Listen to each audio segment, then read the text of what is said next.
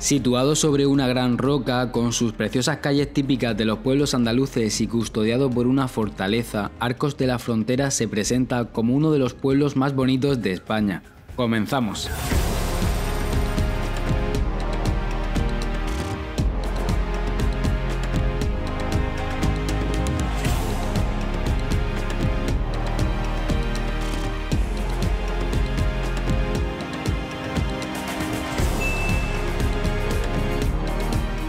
Hola viajeros, en este vídeo vamos a visitar Arcos de la Frontera, uno de esos pueblos blancos de Cádiz con un pasado muy interesante y también esas típicas callejuelas estrechas de Andalucía que son una verdadera delicia. En lo alto de una colina sobre el río Guadalete, inmerso en los paisajes de la serranía de Cádiz y la campiña jerezana, se encuentra el municipio más extenso de la Sierra de Cádiz, Arcos de la Frontera, con casi 31.000 habitantes y declarado Conjunto Histórico Artístico Nacional por su enorme belleza natural, su importancia monumental y su riqueza arqueológica. Tiene buena pinta, ¿no? Arcos de la Frontera quedó marcado por el paso de los musulmanes en la Edad Media, algo que podemos comprobar recorriendo su precioso centro de calles estrechas y empinadas, además de la muralla y el alcázar, aunque posteriormente los cristianos hicieron crecer su belleza con la construcción de iglesias, palacios y casas señoriales que nos acompañan en su visita.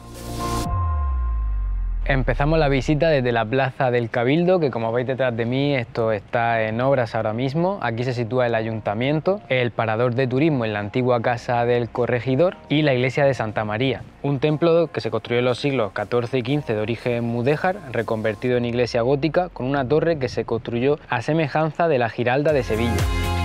Esta bella plaza se encuentra a espaldas del castillo de los Ponce de León, duques de Arcos, y en su día fue el patio de armas del recinto amurallado. El castillo, como veis, también está cerrado al público y no se puede visitar, al menos de momento. Fue construido en el siglo XI y posteriormente una importante remodelación lo convirtió en un castillo medieval de planta cuadrangular y cuatro torres almenaras en sus esquinas, aunque he leído que todavía conserva un gran arco de herradura y un lienzo de muralla de su época nazarí.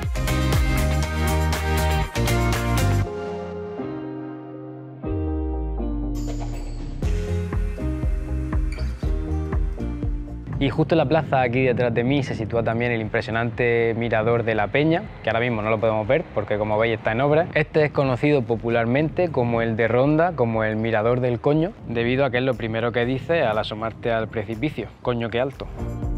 Las vistas que tienes desde el mirador de la plaza del Cabildo de la Sierra y al río Guadalete deben ser preciosas, sobre todo si no te pillan obras como a nosotros y las puedes ver, y así darte cuenta del encanto que tiene Arcos de la Frontera situado en un risco. Con esta panorámica a vista de dron, vemos cómo destacan por encima de todos los tejados la iglesia de Santa María y el castillo. Por cierto, he comentado algo sobre Ronda y tienes también un vídeo en el canal de esta ciudad por si quieres pasarte. Seguimos. La Basílica Menor de Santa María es la iglesia principal que se levantó sobre los restos de una mezquita árabe, como es habitual, y estuvo en construcción durante seis siglos, lo que ha significado una mezcla de estilos arquitectónicos.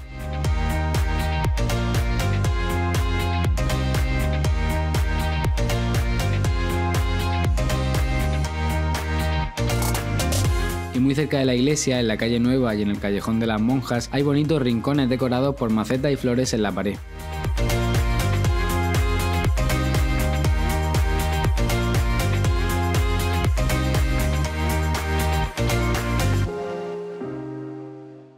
Saliendo de la plaza y rodeando la iglesia comenzamos la bajada por el callejón de las monjas. Este tramo del callejón pasa por la puerta principal de la iglesia de Santa María, en cuya entrada se sitúa el conocido círculo mágico, formado por 12 piedras de colores alternando el blanco y el rojo. Este es uno de los puntos más enigmáticos del legado musulmán en este pueblo y se supone que era utilizado para alejar los malos espíritus.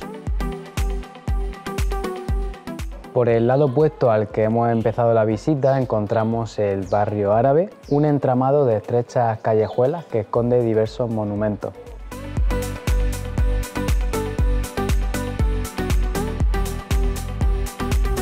Al salir de la plaza Cabildo puedes recorrer la calle Escribanos hasta la plaza Boticas. Esta plaza, rodeada de terrazas donde tomar algo, está presidida por el convento de las Mercedarias Descalzas, el único de clausura que queda en el pueblo, que además es famoso por sus dulces caseros. Otros edificios históricos de este bonito espacio son el Teatro Olivares Beas y el Templo Inconcluso de los Jesuitas, reconvertido en mercado de abastos. Aquí también se encuentra el Belén de Arcos que está puesto todo el año por si te gusta esto.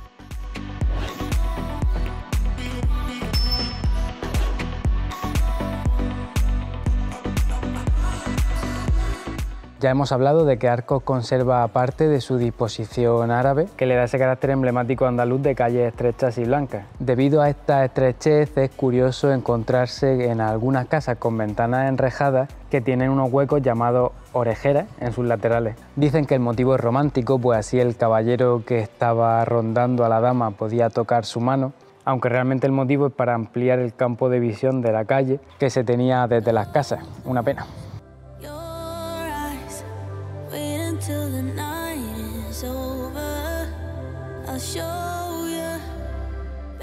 La fachada del Palacio del Mayorazgo es otra llamativa del pueblo. El palacio fue construido en el siglo XVII y su portada principal está muy decorada con columnas y rematada con un frontón triangular que muestra el escudo de la familia Núñez de Prado. El otro templo que destaca en Arcos es la iglesia de San Pedro, que lo hemos visto antes con el dron. Esta es del siglo XVI y se asienta sobre los restos de una antigua fortaleza de época almohade y de la que se conserva parte de una torre poligonal que está integrada en la cabecera de la iglesia.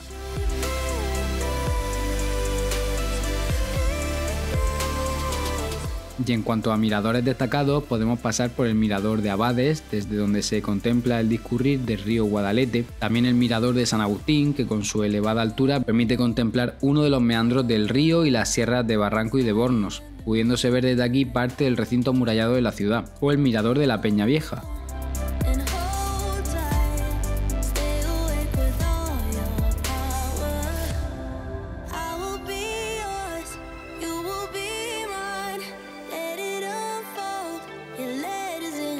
De la Frontera está prácticamente rodeada por el río Guadalete. Hace años aquí había muchos molinos para moler el grano y obtener pan. Hoy día se conserva la estructura de alguno de ellos que puedes ver a lo lejos.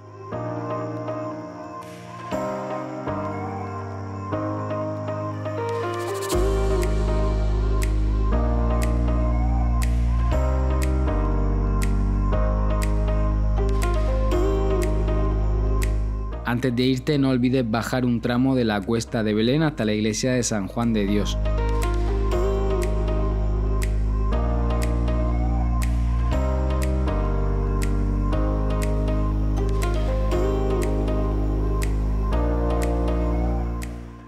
Y si hablamos de la gastronomía de Arcos de la Frontera, este es otro de los atractivos para visitar este precioso pueblo. Aquí puedes comer en la taberna Jóvenes Flamencos o en el gastrobar El Retablo, nosotros habíamos reservado en el primero.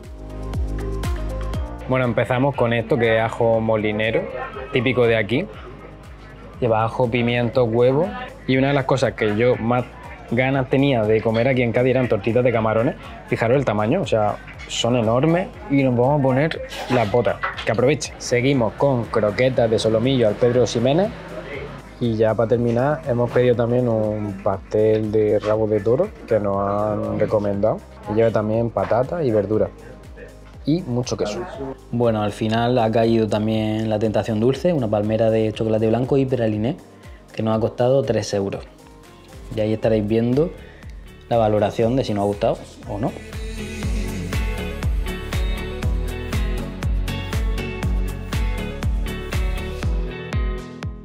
A la salida, si tienes tiempo, pásate por el Mirador de la Fuente, que tiene unas vistas preciosas del pueblo y hago una breve parada para enseñarte dónde nos quedamos a dormir, en el mismo centro del pueblo. Bueno, os cuento también tema de alojamiento. Nos hemos quedado en un Airbnb que está justo en la calle Cuesta de las Monjas. El sitio es muy céntrico. Ahora, mmm, tenemos que traernos las maletas del coche que están a tomar por saco de distancia. Os enseño un poquito el piso. Tiene aquí salón, la habitación con la cama doble y por ahí arriba cocina y baño.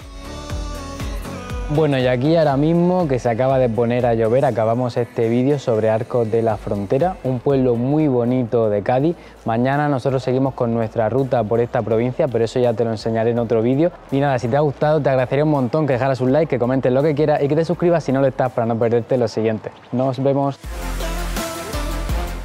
Este es solo uno de los vídeos de nuestro viaje a Cádiz, donde recorrimos esta provincia durante varios días para conocer su capital y también otros lugares preciosos como Jerez de la Frontera, Zahara, Arcos, Vejer, Conil, Setenil y muchos más. No olvides suscribirte para no perdértelos.